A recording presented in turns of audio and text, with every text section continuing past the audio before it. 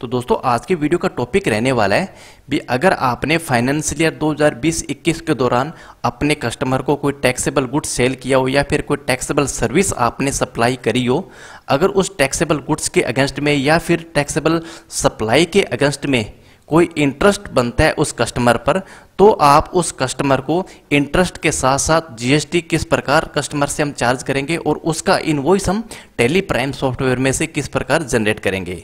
तो दोस्तों, आज की इस वीडियो में हम प्रैक्टिकली इस बात पर डिस्कस करेंगे कि हम हमारे कस्टमर पे किस प्रकार के इंटरेस्ट पर हम जीएसटी चार्ज करेंगे और किस प्रकार के इंटरेस्ट हम जो जीएसटी कस्टमर से कलेक्ट नहीं करेंगे। तो दोस्तों, आज की वीडियो जो एक नए अकाउंटेंट के लिए बहुत ही ज़्यादा इंपॉर्टेंट है, इसलिए आप वीडियो को एंड तक कंप्लीट ज़रूर देखना। वीडियो आपको नॉलेजेबल लगे, अच्छी लगे तो लाइक करने के साथ साथ दोस्तों में शेयर भी ज़रूर कर देना। वीडियो कैसी लगी, आप हमें कमेंट करके भी ज़रूर बताना। तो दोस्तों, अगर आपने हमारे चैनल पर पहली बार विज़िट करी है तो चैनल को सब्सक्राइब करने के साथ साथ नोटिफिकेशन बेल को भी ज़रूर ऑन कर लेना, क्योंकि हम इस चैनल पर इसी तरीके की प्रैक्टिकल और नॉलेजेबल वीडियो कंटिन्यू अपलोड करते रहते हैं। तो नमस्कार दोस्तों। मैं हूँ मोहन सुतार और स्मार्ट काउंटिंग आरसनार के यूट्यूब चैनल पे आप सभी का बहुत बहुत स्वागत है। तो दोस्तों, शुरू करते हैं आज का ये वीडियो।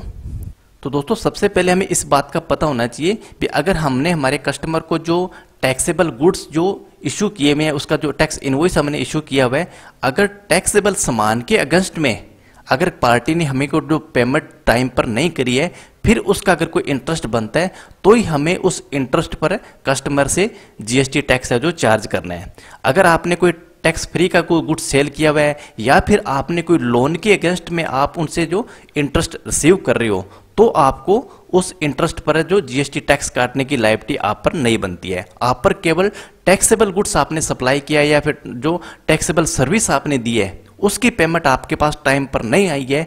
अगर आपके, उसके ऊपर कोई इंटरेस्ट बनता है, आपके इंटरेस्ट धारा के अकॉर्डिंग तो आप उनसे जो एस जी एस टी और सी जी एस टी जो टैक्स है, आप उस इंटरेस्ट के वाउचर पे लगाओगे। दोस्तों, हमने एक, हमारे पास कस्टमर है, उसकी एंट्री हमने यहाँ पर करके रखी हुई है सेल इन्वॉइस में। तो सबसे पहले हम वो इन्वॉइस हम देखेंगे इसलिए हम डिस्प्ले मोर रिपोर्ट्स पर जाएँगे और डे बुक पर जाएँगे। एप टू के साथ हम पूरा डाटा ओपन कर लेंगे। तो दोस्तों, आप देख रहे हैं हमारे पास एक कस्टमर है रमेश कुमार। इसको हमने चार जो सेल इन्वॉइस इशू किए हुए हैं। और ये जो चारों के चार इन्वॉइस है, सभी टैक्सेबल है जो गुड्स हमने इनको सेल किया हुआ है। तो इस पर आप एस और सी टैक्स हमने चार्ज किया हुआ है। और सभी पे आप देख रहे हो एस टैक्स और सीजीएसटी टैक्स है चार्ज किया हुआ है। और इन जितना भी हमने इनको गुड्स सेल किया उसके अगेंस्ट में केवल फाइव थाउज़ेंड की ही रिसिप्ट हुई है। तो दोस्तों, सबसे पहले हम इनका ब्याज की कैलकुलेशन देखते हैं भी कितना इंटरेस्ट इस कस्टमर से लेना बनता है इकतीस मार्च 2021 तक का।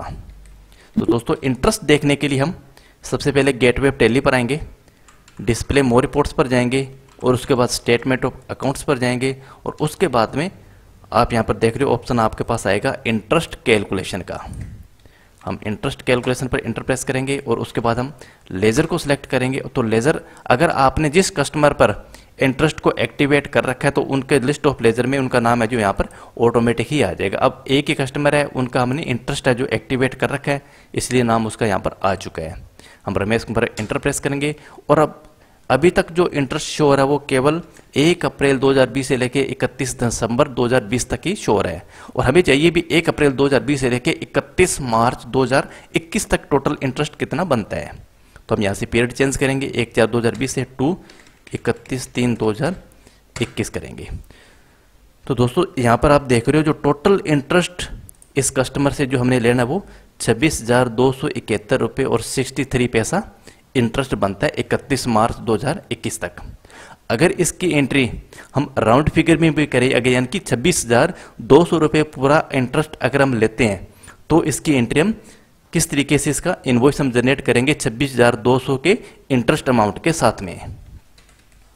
तो दोस्तों, अगर आप देख रहे हो, सबसे पहले हम एक बार हमारे जीएसटी का ट्रीटमेंट देख लेते हैं। जीएसटी आर वन हम देख लेते हैं। हमारा जो कस्टमर है, ये रेगुलर स्कीम में रजिस्टर्ड है। डिस्प्ले मोर रिपोर्ट्स पर हम जाएँगे जीएसटी रिपोर्ट देखने के लिए और जीएसटी आर वन को हम देखेंगे। तो आप देख रहे हो, ये जो चारों के जो चारों इन्वॉइस है, यहाँ पर इस बी टू बी के अंदर शो हो रहे हैं। और हम इसको इंटरप्रेस करेंगे। तो और सारे के सारे इन्वॉइस अगर आप देख रहे हो यहाँ पर वाउचर वाइज में तो चारों को चारों इन्वॉइस आपको रमेश कुमार के ही शो होंगे। तो अगर हम पांचवा इनवॉइस जो कि हमारा इंटरेस्ट का बनेगा, वो भी अब जीएसटीआर वन के इस बी टू बी के कॉलम में शो होना ज़रूरी है, क्योंकि हमने जो जीएसटी कलेक्ट किया है, सामने वाली पार्टी से उसका इसका इनपुट भी मिलेगा। तो इसकी एंट्री करने के लिए हम वाउचर पे जाएँगे और हम अब जाएँगे सेल इनवॉइस पे। अब जैसे हम सेल इनवॉइस में आ जाएँगे तो यहाँ पर हमें मोड इसका जो चेंज करना पड़ेगा नेम ऑफ़ आइटम की जगह में कंट्रोल हम एच करेंगे तो उसके बाद हम इसको करेंगे अकाउंटिंग इनवॉइस में। तो जैसे हम अकाउंटिंग इनवॉइस में करेंगे तो यहाँ पर अब नेम ऑफ़ आइटम की जगह पर्टिकुलर शो होना शुरू हो जाएगा। तो दोस्तों, इसकी एंट्री हम करेंगे 31 मार्च को, क्योंकि इंटरेस्ट है जो हमने इकतीस मार्च को रिसीव कर रहे हैं तो उसका जो पार्टी के अकाउंट में हम करेंगे यहाँ पे रमेश कुमार। अब यहाँ पर हमें एक लेज़र क्रिएट करना पड़ेगा इंटरेस्ट के नाम से। एल्ट सी से हम लेज़र क्रिएट करेंगे, और अब जो लेज़र हमें बनाना है वो इंटरेस्ट रिसीव्ड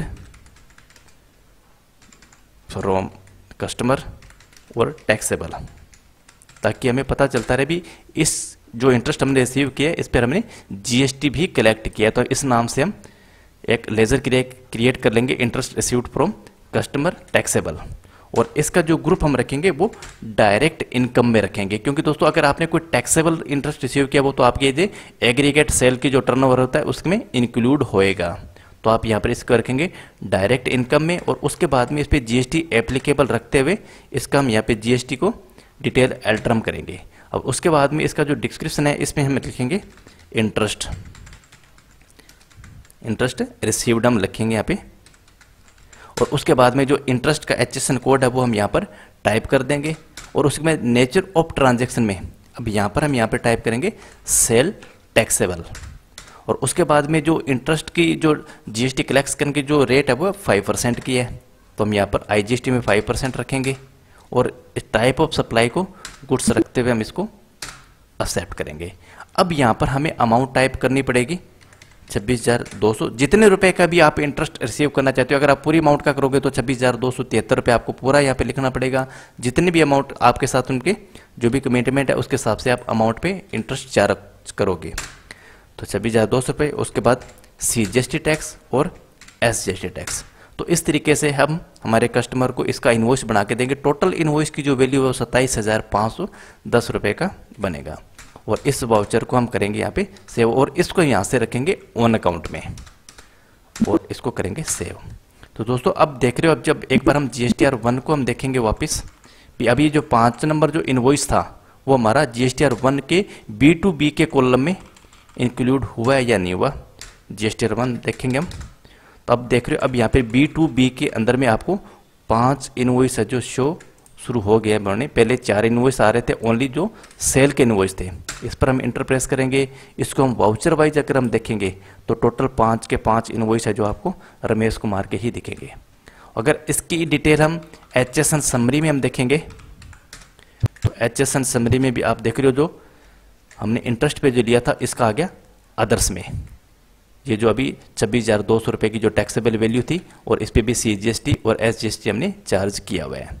तो ये भी एच एस एन समरी के अंदर इंक्लूड होएगा।